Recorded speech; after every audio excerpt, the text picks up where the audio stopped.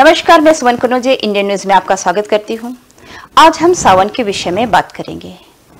सावन का महीना विशेष रूप से शिव जी की पूजा अर्चना के लिए माना जाता है। 4 जुलाई से शिव जी की आराधना का महापर्व शुरू हो रहा है। जैसा कि आप सभी जानते हैं कि सावन का महीना शिव जी को समर्पित होता है। सावन माह में शिव जी की आराधना विशेष रूप से की जाती है। इस वर्ष सावन अंठावन दिनों का होगा। यानी शिव जी की पूजा पाठ और भक्ति के लिए सावन का महीना दो माह का होगा। 4 जुलाई से सावन का पवित्र माह शुरू होकर 31 अगस्त तक चलेगा। इस दौरान 18 जुलाई से 16 अगस्त तक अधिक मास रहेगा। इसी कारण से इस वर्ष सावन का महीना दो महीने का होगा। धार्मिक मान्यताओं के अनुसार देवशनी एकादशी से लेकर देव उठनी एकादशी तक भगवान विष्णु योग निद्रा में होते हैं। ऐसे में सृष्टि का संचालन भगवान शिव जी के हाथों में रहता है। अधिक मास के चलते इस बार चतुर्मास चार की बजाय पाँच महीनों का होगा।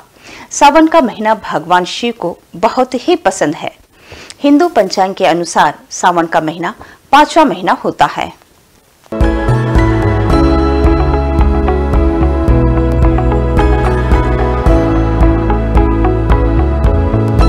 वैदिक पंचांग की गणना सौर मास और चंद्रमास के आधार पर की जाती है, जिसमें चंद्रमास तीन दिनों का होता है, वहीं सौर मास तीन दिन का। दोनों में 11 दिन का अंतर आता है और तीसरे साल यह अंतर 33 दिन का हो जाता है, जिसे अधिक मास कहा जाता है। ऐसे में इस बार सावन दो महीने का होने वाला है। यानी, हर सावन में चार या पाँच सोमवार ही पड़ते थे और शिव भक्त भगवान भोले की पूजा अर्चना करते थे। लेकिन इस बार सावन में आठ सोमवार पड़ेंगे, इसलिए इस बार दो महीने का शिव भक्ति की बयार बहती रहेगी।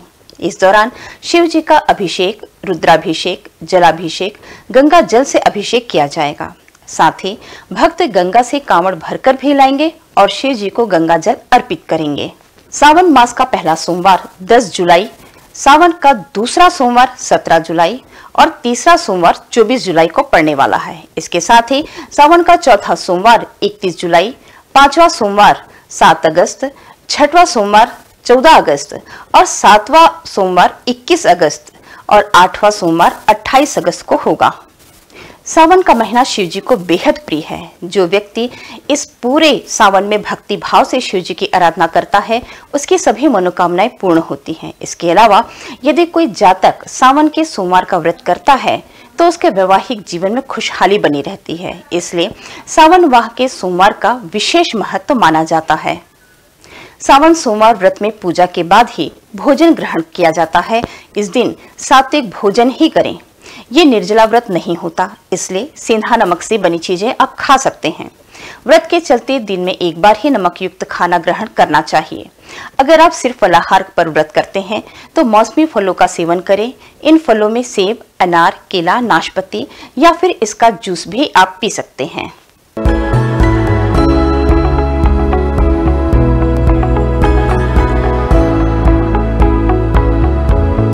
इस महीने की सबसे पहचानी जाने वाली विशेषता है कांवर यात्रा। इस अनुष्ठान में भगवान शिव के भक्त, छोटे बर्तनों, जिन्हें कांवड़ कहा जाता है, उसमें गंगा जैसी पवित्र नदियों से जल ले जाते हैं और यह जल शिव जी के मंदिर में जाकर शिव जी का जलाभिषेक करते हैं। इसके लिए भक्त केसरिया रंग के कपड़े पहनकर भगवान शिव से जुड़े पवित्र स्थानों की पैदल तीर्थ यात्रा कर निकलते हैं, जो उनकी भक्ति और समर्पण का प्रतीक होता है। इन तीर्थ यात्राओं में अक्सर लंबी दूरी तक पैदल चलना, भजन गाना और रास्ते में विभिन्न शिव मंदिरों में प्रार्थना करना शामिल होता है।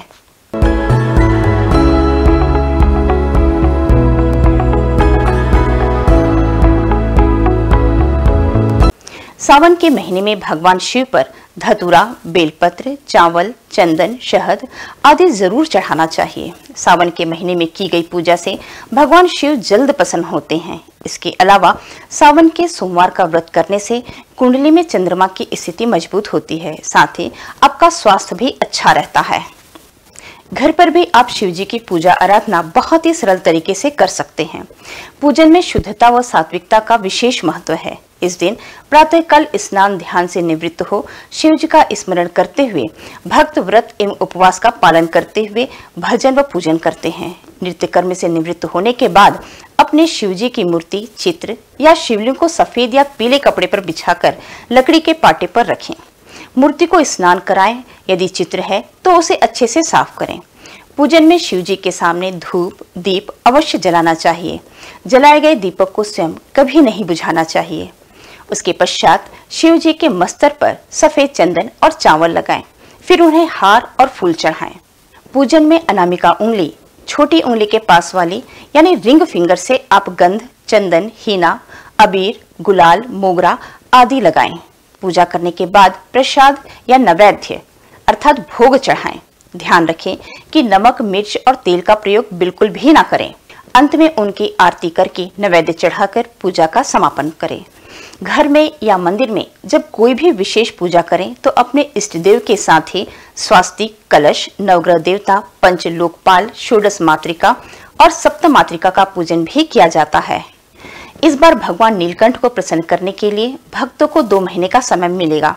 दरअसल, इस साल सावन का महीना एक नहीं, बल्कि दो महीने का है। कहा जा रहा है कि ऐसा दुर्लभ संयोग करीब 19 साल बाद बना है। और शिव भक्त बड़े ही बेसब्री से इस पल का इंतज़ार करते हैं। कहते हैं, शिव भोले हैं। प्रेम और श्रद्धा से उन्हें जो भी अर्पित किया जाए, वे सहर्ष स्वीकार कर लेते हैं। बशर्ते वह खंडित नहीं होना चाहिए। इस पवित्र महीने में भगवान शिव की भक्ति करने से साधकों को बल, बुद्धि एवं विद्या का आशीर्वाद प्राप्त होता है।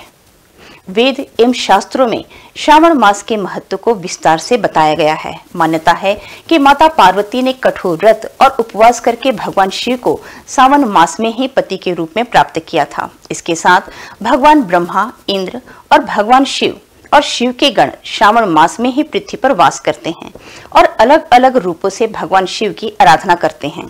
श्रावण मास में भगवान शिव की पूजा अर्चना करने से सभी दुखों का नाश होता है और साधक की सभी मनोकामनाएँ पूर्ण हो जाती हैं। मान्यता यह भी है कि श्रावण मास में द्वादश ज्योतिर्लिंग में से किसी भी एक ज्योतिर्लिंग के दर्शन करने से साधक को अश्वमेघ यज्ञ के समान फल की प्राप्ति होती है।